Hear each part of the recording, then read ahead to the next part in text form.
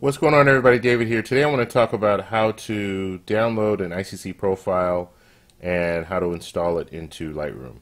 So this is, it's very easy. A lot of people don't know about ICC profiles. So it's important, it's very important when it comes to printing because you want the printer to understand exactly what type of paper that you're using and how to print on it. So if you're, let's say you have a Canon printer and you're using Canon paper. Well, that's not really a big issue because Canon has all their papers already profiled and all you need to do is tell the printer what paper you're using and you're, you're set. Uh, however, if you're using third-party paper like Red River or Hahnemühle or Canson paper, you're going to run into problems because Canon doesn't recognize, doesn't uh, automatically recognize the, the different papers. So you need to download their profiles and put those profiles on the Lightroom and then that will allow the printer to understand how to print on the paper. So let me show you exactly what I'm talking about. So I have here Canson and let me start from the beginning here. This is uh, Canson paper, their, their website.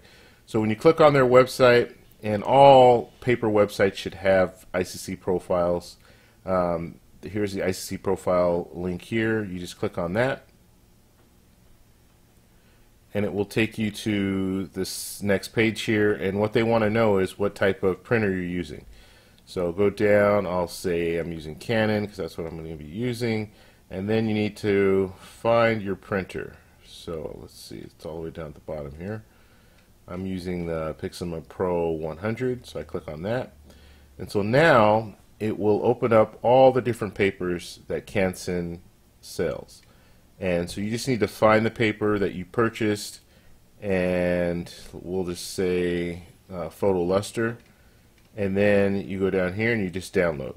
So it's going to download that profile for you and I just have it going to my my desktop.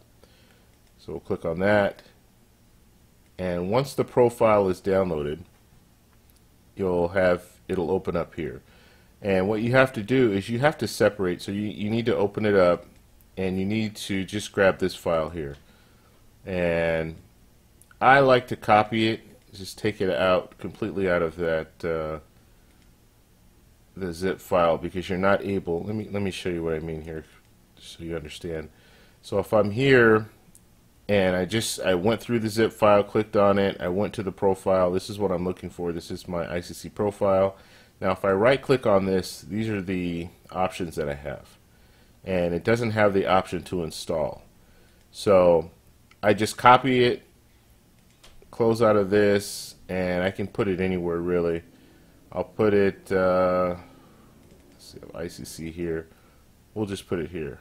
Actually, I already have one in there, so let me let me just leave it there. So I have I have the profile in there. So all you do is cut, paste, put it anywhere other than desktop. I like to have it somewhere else. So now that I have it here, all I need to do is right click.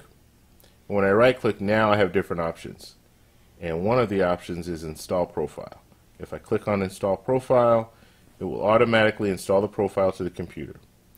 So from that point, I can just close out of here, go into my Lightroom, and you're going to want to start up Lightroom again. However, I have it already in my in my profile, so I don't have to do that in this case. So now I'm in the print module, and I have my my uh, image here. So I'm down at the bottom here, and as you see, this is my profile. So the current profile is this Moab um, exhibit paper. So if I were to print and I were using and I was using Canson paper, the printer will get a little confused because it's not going to understand. It's going to think it's exhibit paper, exhibition paper, I should say, and it, and it's not going to print. It's not going to be the best quality print because it thinks it's something else. So what I need to do is I need to find the paper. So if I'm using photo luster paper from Canson, I need to find that profile. So what I do is click on here, and it's up here because I've already pulled it in, but I want to show you if it's not. So let's say it's not up here. You don't see it up here, and you go all the way through all the different profiles, you don't see it. So what you do is you click Other. When you click Other, you're going to open up this screen here, and you'll have some other options here. And as you can see, uh, as I was saying, if you have a Canon, I have two Canon uh, printers, you have all these different profiles of all the paper that Canon makes. And that automatically comes with, when you buy the printer, it's going to have all the ICC profiles set up for that. So if you buy Canon paper, you're fine. You're, you're, you're ready to go. Now if you have different type paper, like this is Hahnemuhle paper, uh, this is Moab paper, you're going to need to download their profiles. And so that's what I that's what I've done. So let's move down move down. And let's see. Okay so Canson's at the very bottom here. This is the paper that I need.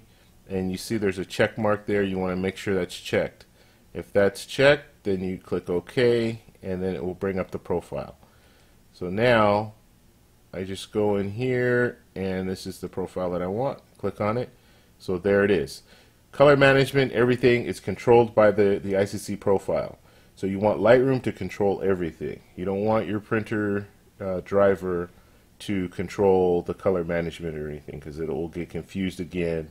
Uh, and so the ICC profile will do everything. Now, the Canon printer understands that you're that you're printing on Canson paper and that you're using um, photo luster. So that's all I have for you guys. If you have any comments, please post them below. Please subscribe for more, and I'll talk to you in the next one. Bye.